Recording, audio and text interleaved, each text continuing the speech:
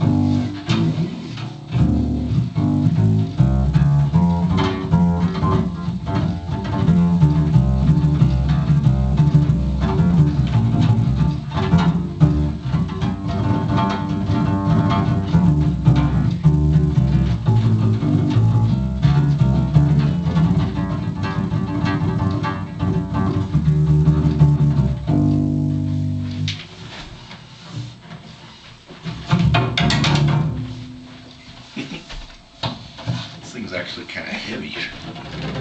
Heavier than I expected. Ugh.